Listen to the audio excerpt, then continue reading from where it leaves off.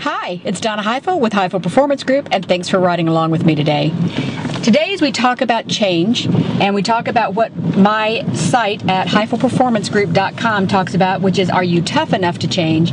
I want to discuss one of the three categories that I stress is an important element of getting people to change influence the heart, inform the mind, inspire the feet.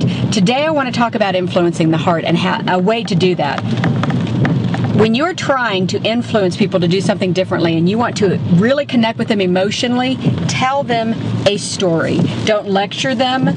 Don't give them a bunch of data and facts. Don't try to persuade their heart by saying we can increase sales by 14.2%. You want to really influence the heart, you tell somebody a story. Everybody's life is a story with a beginning, with a middle, and with an end. And when you talk to people in story form, it means more to them. And let me give you an example. There was one leader that had two people that were fighting over who was going to own the service part of their company, and it could have been owned by either one of them.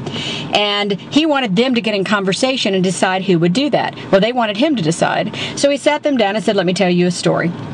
He said there was once a group of people in a building. The building caught fire. The people at the front of the building saw about 30 different firemen that were trying to get, and you know, everything pulled together, get them out of the building, take care of it. The people in the back saw two guys run up to their window, look in, and then run back to the front. Now, the good news is everybody got out of the building.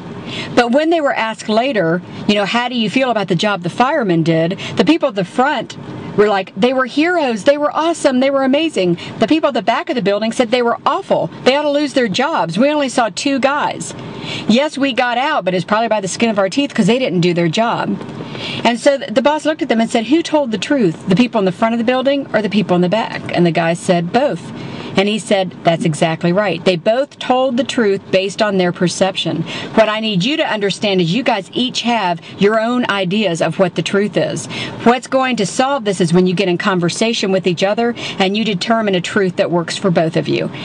He made the point without lecturing them. So, my point to you is if you want to influence the heart, tell a story. It makes a big difference. Thanks for being with me today. I'll see you next time.